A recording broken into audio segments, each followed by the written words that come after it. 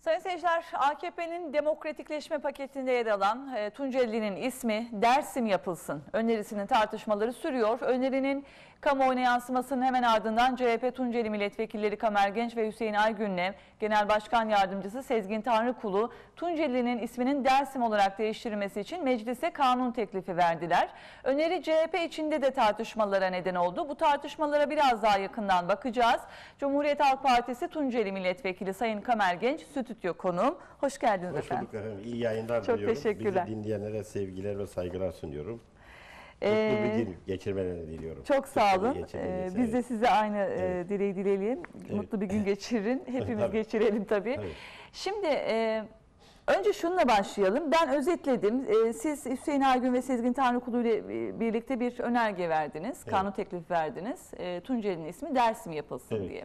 E, fakat sonrasında basına şöyle şeyler yansıdı. Siz e, çok da hani vicdanen rahat değilim. Evet. E, çok Şimdi e, onu bir isterseniz açıklığa biraz- kavuşturalım mı önce? E, tabii, Sonra tabii. devam edelim. Tamam peki.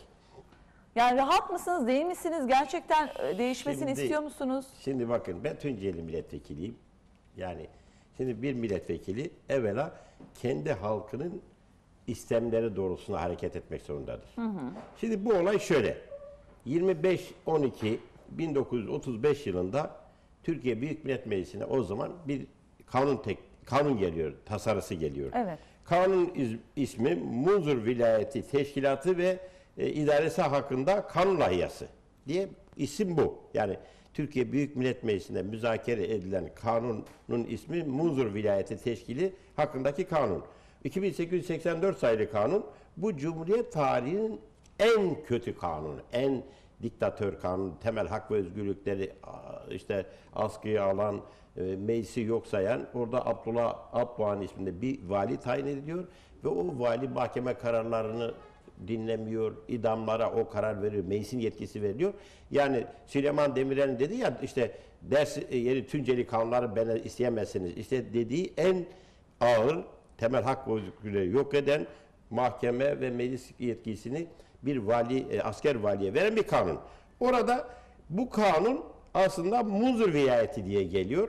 Fakat onu Türkiye Büyük Millet Meclisi'ne izah eden o günkü daire vekili Şükrü Kaya diyor ki Tunceli adıyla şimdi teşkil edecek bir vilayet diyor. Şimdi siz Ha, ismin dakika, nasıl değiştirildiğini anlatıyorsunuz değil mi? Hayır, onu izleyicilerimiz Evet, anlasın. diye yani nasıl soruyorum. değiştirdiğini. Tamam, Şimdi bu kanunda Nasıl Tunceli oldu? Dersim i- i- vilayetinin Tunceli olduğuna dair işte kanun burada. Yok böyle bir şey. Yani e, efendim eskiden Dersim olan bu kanun ismi Tunceli olarak değiştirilmişti diye bir şey yok. Munzur vilayeti diye gelmiş. İçin o açık yani açıklık yok. Şimdi o sırada bir kanun değişmiş. 1935 yılında değişmiş. Biliyorsunuz 35 yılına kadar buranın ismi Dersim'di. Dersim olunca da Ama Dersim bir bölgenin ismiydi değil mi? Yani Tabii, tabii. sadece Yo, yo, vilayet ismi Dersim'di. Tamam. Ama o vilayetin hudutları genişti. Genişti, evet. Yani işte Dahiliye Bakanı burada izah ediyor. Diyor ki e, dört- e, 450 ile 500 kilometrelik bir sahayı karşılayan Aha. bir alandı diyor. Tunceli de onun Tun- içinde. Tün- ha, şimdi orada o vilayet sınırları daraltılmış. Tunceli ili 1935 yılında kurulmuştur. Şimdi bu Tunceli ili kurulduktan sonra işte o kanuna göre 1900 biliyorsunuz 1937'de ve 38'de bir askeri hareket yapıldı. O askeri harekette birçok insanlar öldürüldü. İşte kadın, çoluk, çocuk öldürüldü. Dolayısıyla büyük bir vahşet bu olay.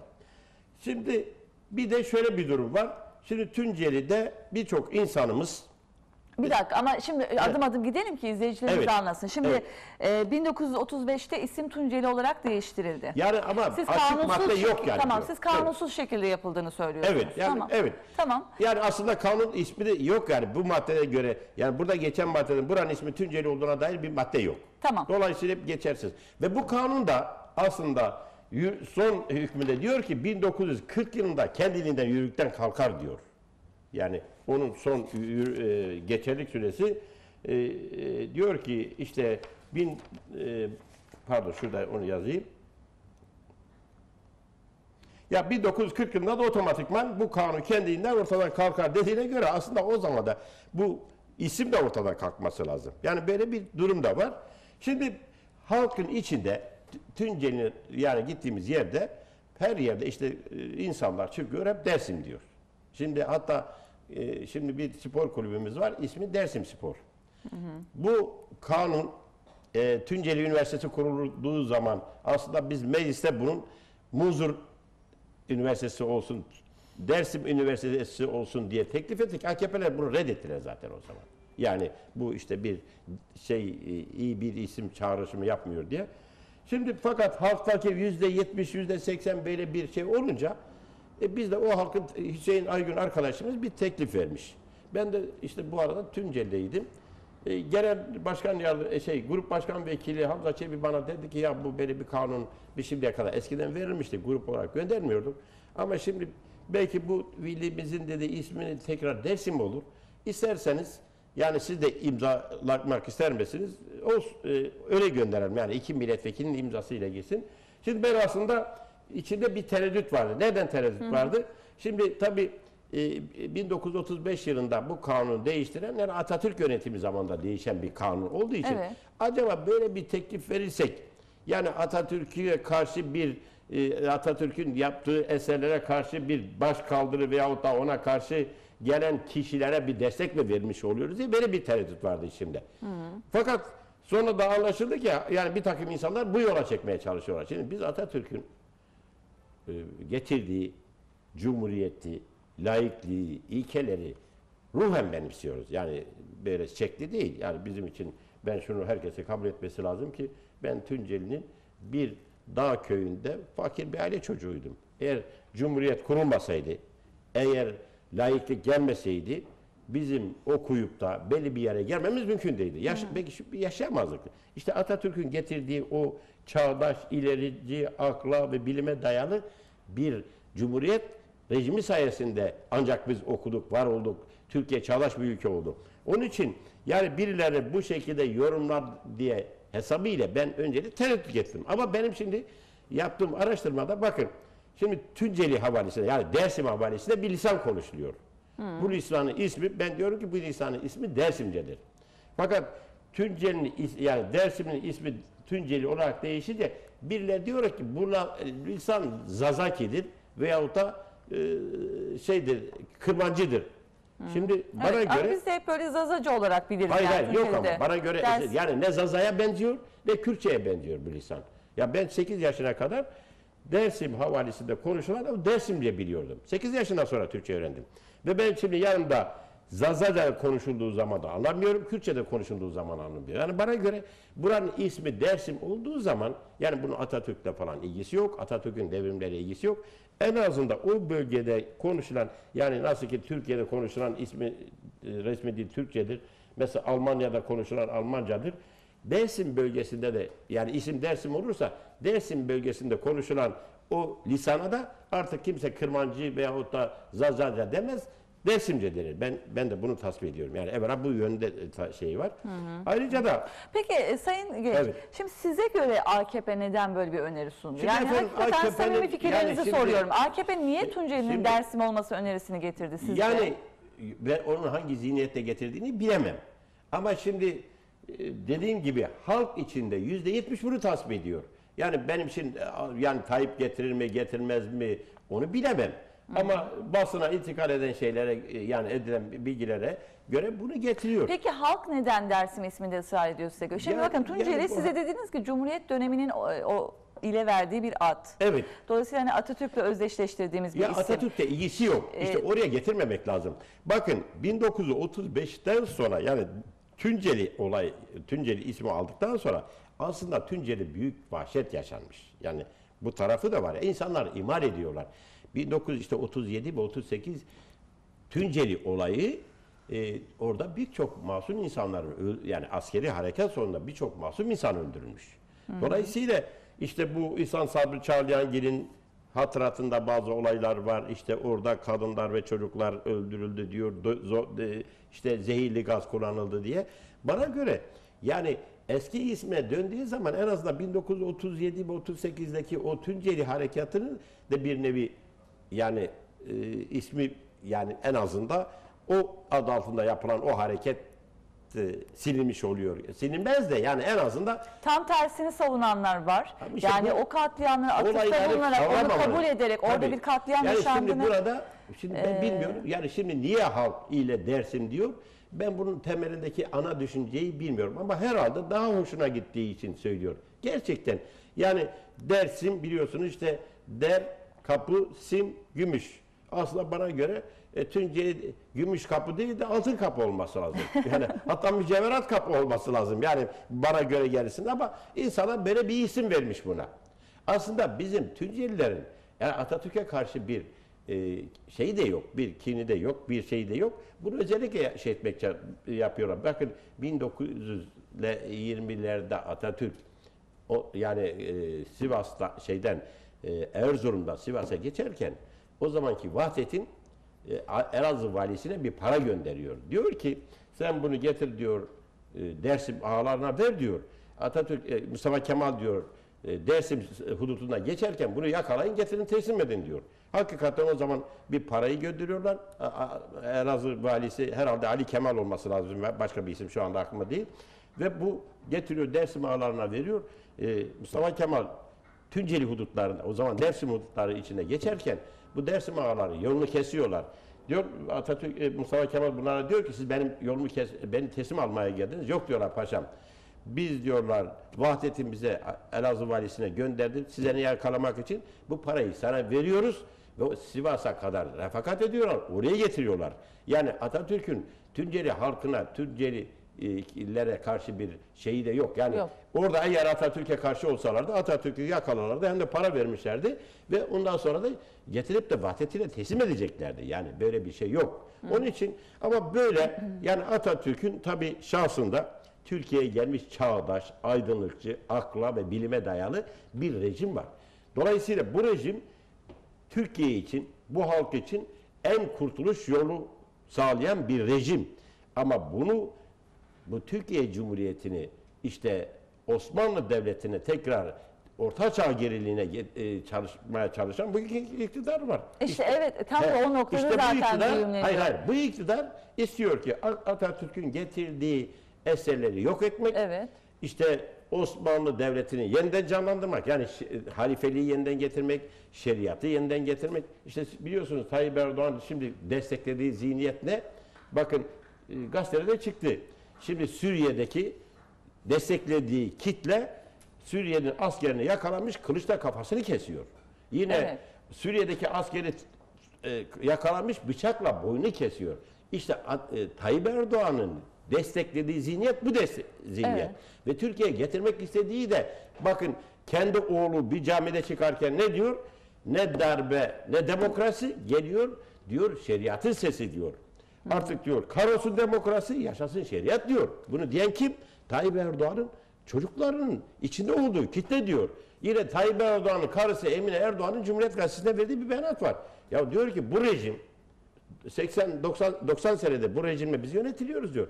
Bu rejim bize uymuyor diyor. Bizim rejimimizin özü diyor işte e, Bağdat'tadır ve Mekke ve Medine'dedir. Yani Vahabi rejimini istiyor. Yani bütün bunları bilen bir insanım. Ama burada e, özel bir şey var. Yani bunun bu Şimdi Sayın Genç Evet. tabii şu Tun- e, Tunceli olayında da yani Tunceli'nin isminin Dersim yapılması olayında da şöyle bir değerlendirme var. Bu iki isim iki dönemi sembol eden isim, ama yok sembolize işte, eden orada isimler. yanılıyor insanlar. Şimdi ama Yani- Dersim e, hayır. hani o dönemde şimdi orada e, ağalığın hakim olduğu, feodalitenin Efendim, hakim olduğu, işte anladım. isyanların Yani, hakim olduğu bir evet, dönem. eski- Sonra Cumhuriyet dönemiyle Tunceli yepyeni bir e, kimlik Hayır, kazanıyor hayır, ve yani yok çok efendim. özür diliyorum bitireyim. Şimdi Tunceli halkının Evet. e, Atatürk'le Cumhuriyet'le bir sorunu olmadığını biliyoruz. Ben de Evet, e, evet. Tunceliyim ve Evet. her evde Evet, e, Atatürk'ün resmi ve var. Hazreti Ali'nin resimlerinin Tabii tabii asılı tabii bizim var. Yani onu, de var. onu kabul etmek lazım. Ee, Ama bir de halkta peki döneme dö- siz de dönemi- Evet. Bakın yarın bakın bir festivallere gidiyoruz. Gençlerimiz arasında da Tunceliler olanlar var. Ama şimdi insanlar hep Dersim diyor. Şimdi Avrupa'ya gidin hiçbir yerde Tunceli lafını kullanmıyorlar. Yani şimdi halktan da böyle bir kabul olunca bunu oraya getirmek bence hatalı. Yani şimdi biraz da bazı insanlar yani nerede istismar ederim diye bunu şey etmeye çalışıyoruz. Yani ben halkın yani ben aslında istediğim şu yani o e, dedim ki hani gönlüm rahat değildir. Değil, evet. Demekteki Ha. amacım şu. Diyorum ki bir ilin veya ismi değiştirirken halka gitmek lazım. Prensip yapmak lazım. evet. Yani biz o kanunu eğer meclise gelirse ben öyle derim. Yani derim ki kardeşim biz bu ismi Tunceli mi olsun, Dersim mi olsun? Bunu giderim bir Tunceli'de en azından Tunceli hudutlarına bağlı olarak bir plebissit yapalım. Yani benim amacım o. Yani en doğru olan da bu yani. Birileri Ankara'da e, durup da bir ilin vilayetin ismini değiştirmesinler. Yani bunu başka bir yere çekip de sanki yani hiç ben e, yani Siz daha önce böyle bir öneri gündeme getirdiniz mi? Yani benim yani başka- AKP'den önce mesela. Efendim, Madem e, tabii Tunceli bakın, halkı dersi şey geldi, istiyor. Bakın, e, Tunceli Üniversite kuruldu. Evet. Biz o Tunceli Üniversitesi'nin evvela isminin Muzur olmasını istedik. Dersim olmasını istedik. AKP'ler kabul etmediler. Yani dediler ki olmaz. Niye? Efendim bu bilmem işte onların anlamına göre milli duyguları rencide eden veya başka e, reddettiler. Bu tamamen yani şimdi Tayyip Erdoğan batmış. Türkiye'yi kutuplaştırmaya çalışıyor. Türkiye'de işte aydınlığı e, yok etmeye çalışıyor. Cumhuriyeti ve laikliği yok etmeye çalışıyor. Her gün bir çılgınlık peşinde koşuyor. Yani böyle ben onun için yani nerede ne zaman ne çılgınlık yapacağını da bilemem. İşte yani o- ben Tayyip Erdoğan'la de- da aynı yani zemine de girmek de istemiyorum. Ama giriyorsunuz. Yok canım böyle. Ama Ama giriyorsunuz vermedi Genç. efendim bakın Ama hanımefendi. paketin içerisinde Efendim var. bilemedim ki Önerge pakette var mı yok mu? Pakette açıklanmadı Ama- ki. Hayır açıklanmadı. Ben Ama yani Sinan Yerlikaya kendisi Efendim söyledi Sinan AKP milletvekili diyebilir. Ben olarak. ne bileyim Sinan Yerlikaya başka yani Sinan Yerlikaya gitti Tayyip'in emrine girdi. Bir şey demiyorum da. Ya biz daha Tam önce bu aynı teklif- döneme denk geldi Hayır, o hayır, yüzden. efendim, yani kamuoyuna yansıdı Bakın, siz de önerge verdiniz. Şimdi bakın bizim yani biz halka saygılıyız. Diyoruz ki bizim eğer şeyse ben size defalarca söylüyorum. Ben ayda bir Tunceli'ye gidiyorum. Avrupa'ya gidiyorum. Oradan var yani insanlarımız dersim diyor kardeşim. Yani hangi amaçla dediklerini de bilmiyorum. Eğer biz de halkın temsilcisiysek, e, halk da bunu benimsemişse halkın dediğine hareket etmemiz lazım. Halkımız Atatürk'e karşı değil ki Atatürk'ün inkılaplarına bağlı olmayan bir şey. Bu tamamen efendim Cumhuriyet'le bilmem gericiliğin savaşıdır. Bazıları ya, bu bildiri yayınlıyorlar. Tamamen yanlış. Yani bu tamamen yanlış. Bu niye yani ile Dersim ismi Tunceli olduğu zaman bunlar kıyamet koparılıyor da bu kadar yani Atatürk'ün eserleri tek tek e, ortadan kaldırılıyor da bunların karşısında sessiz kalınıyor. Yani bunlar bütün mesele şimdi genel başkanımız Kemal Bey Tunceli olduğu için her şey yani onun şahsında bu partiyi ve Kemal Bey'i yıpratmak için bazı uğraşlar var. Yani bunları biz anlıyoruz ya oynanan oyunları ama yani Ama biz- bunu zaten başta AKP yapıyor. Yani Ya Erdoğan hayır, yapıyor. Sık sık mitinglerinde bakın, Aleviliği, ben- hayır, e, Alevi, Tuncelili yani olmasını... hep yapmacık. Bakın Evet. Alevi konusunda ya Alevilikte yapılacak tek önemli şey var. Bugün yürürlükte olan imar kanununda ibadet yerleri tarif edilmiş. Aslında eskiden ibadet yerleri tarif edilmemişti. Ama imar kanunda işte cami, havra, kilise e, diye geçiyor, mescit diye geçiyor. Biz diyoruz ki onun yanına bir cem, cem, cemevi kelimesini ilave edelim. Kabul etmiyor. Hep yalan. Hep halkı kandırıyor. Şimdi burada da efendim işte bazı i- bizim e, onlarla ilgili bir şeyimiz yok. Biz o yeni bakın daha önce benim 5-6 defa verdiğim bir kanun teklifi var. Bakın 1937 ve 38'de Tunceli'de büyük bir vahşet yapıldı. Birçok insanlar göçe gönderildi. İşte bu Seyit Rıza ve onunla beraber 9 tane ilk kişi asıldı. Bunların o haksız, hukuksuz şekilde asıldığı İhsan Savcı Çağlayangil'in işte e, hatıratında var. Kanun teklifini verdik. Dedik ki bu 1937 ve 38 yılında mağdur olan insanların mağduriyetlerini tespit edelim. Bunlara bir e, tazminat ödeyelim. O cenaze yerleri belli olmayan insanlarımızın cenaze yerlerini gösterelim. Ve Türkiye Cumhuriyeti, Türkiye Büyük Millet Meclisi de bu halktan ya işte o zaman bir haksızlık oldu bir özür dilesin bu işi kapatalım. AKP reddediyor bunları. Bakın bunlar reddediyor. Bunlar makul düşünceler. Ama şimdi ismini ben bilmiyorum getirecek mi getirmeyecek mi bilemeyiz ki yani biz. Şimdi Tayyip'in ben hiçbir lafına din, e, e, kanmıyorum. Çünkü her gün yalan söylüyor. Her gün yalan söylüyor.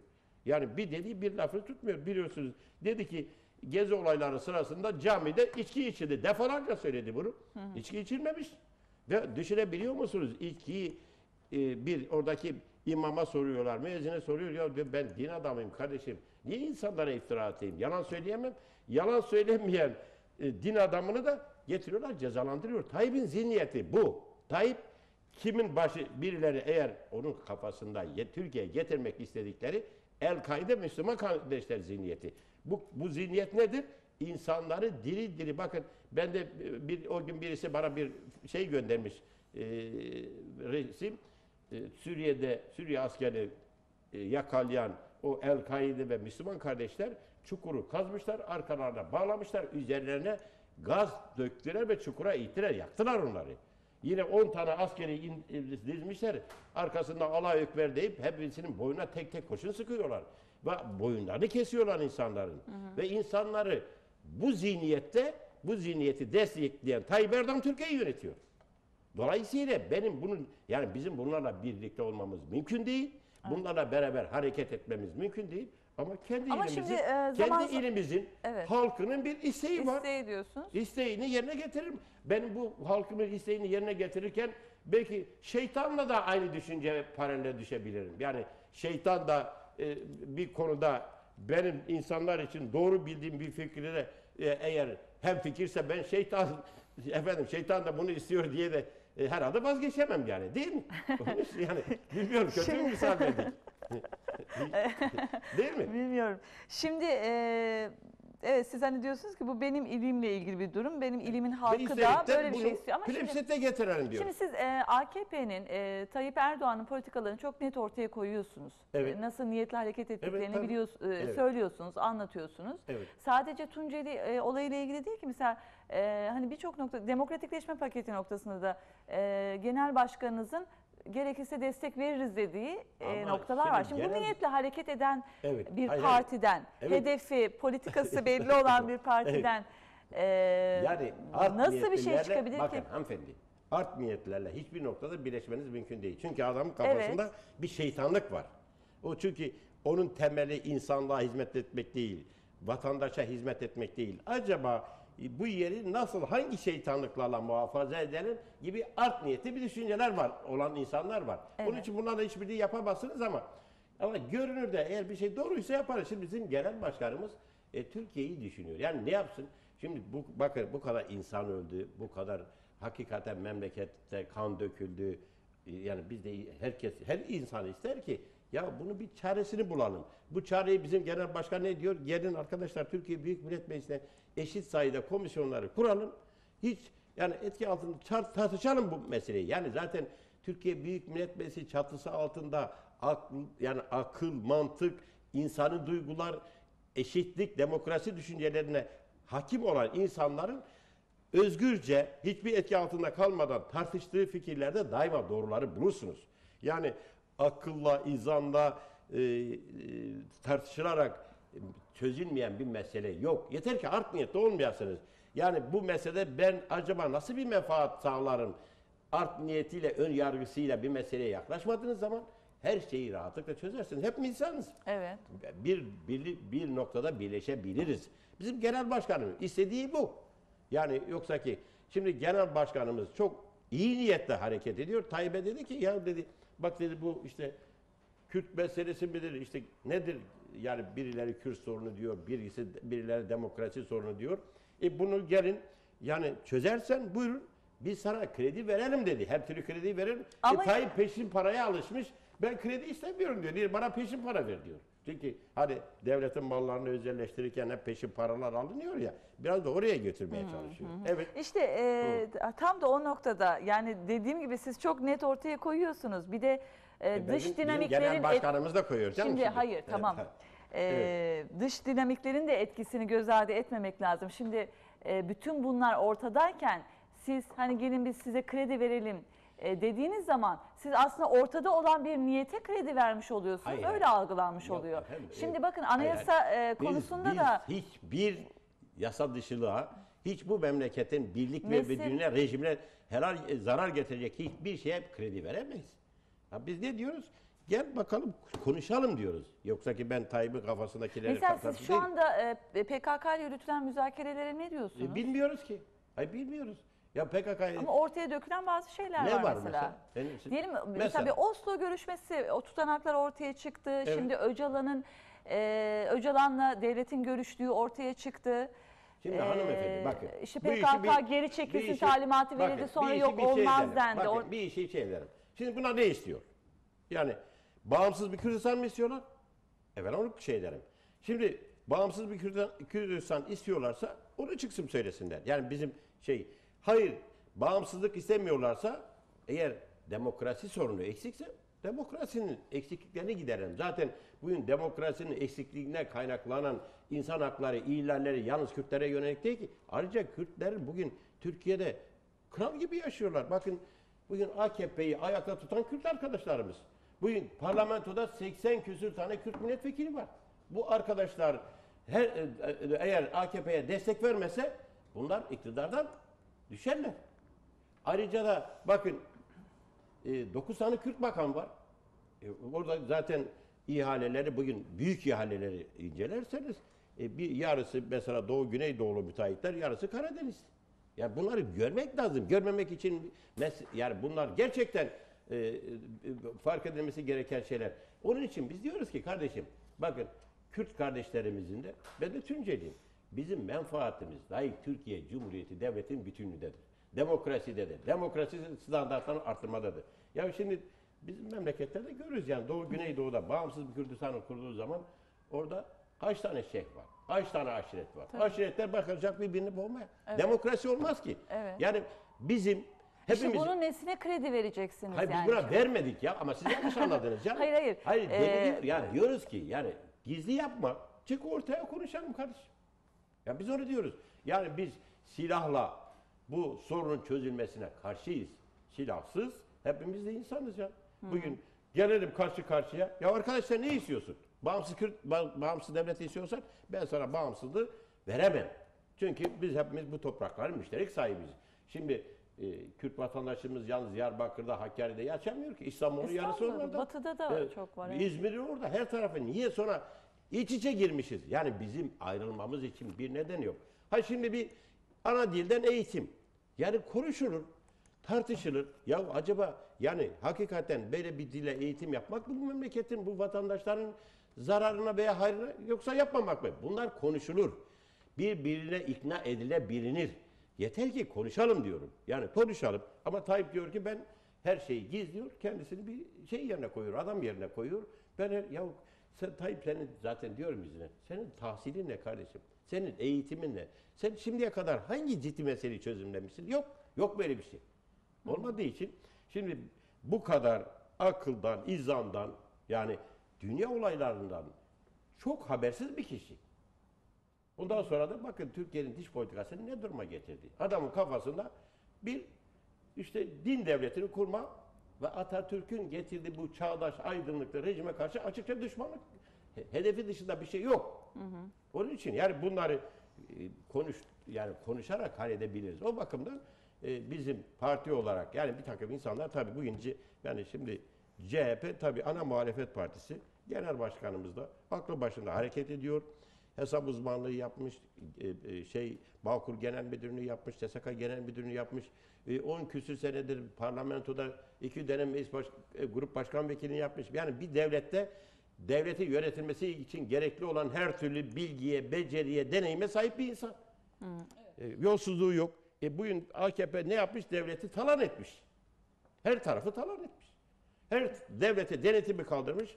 E, bir Tayyip Erdoğan devlet bütçesinin yüzde birini örtü öderek diye harcıyor. Nereye gidiyor bu paralar? Çıksın. Yani insan, namuslu insanlar yani harcadığı paranın hesabını verir hanımefendi. Evet. Peki e, son birkaç dakikamız yine ana konumuzla bitirelim. E, şimdi CHP içinde de tartışmalar olduğunu görüyoruz. Ne tartışması? E, yani bu Tunceli Dersim e, meselesiyle ilgili olarak bazı milletvekilleri mesela şeyi bile söylüyorlar hani Tunceli'yi Dersim'e çeviren zihniyet İstanbul'da Konstantinopolis'e çevirebilir. Yani bir o de kadar şöyle ilkel eleş- bir düşünce tarzı ki onu kim söylemişse bilmiyorum. Ya şimdi Konstantinpolis ayrı bir olay. Dersim'le ne ilgisi var? Bu İsa arkadaş- Gök söylemiş Mersin Efendim milletvekili. İsa Göksaat neyse yani ben onunla yüz yüze konuşurum. O gelsin ben o, o öyle konuşamaz. Yani bu e, Ya şöyle de bir şey var, Evet. daha genel bir e, kanı Evet, var. evet. Yani e, diğer illere de yayılırsa bu talep, ya bu- hanımefendi. bunun önüne nasıl önemli olan geçilecek? halkın beklentisi değil mi? Halkın halk değil mi? Yani neticede biz politikacı olarak niye varız? Halka hizmet etmişim varız. Gelsinler o arkadaşlar. Gidelim Tunceli'ye, gidelim Avrupa'ya.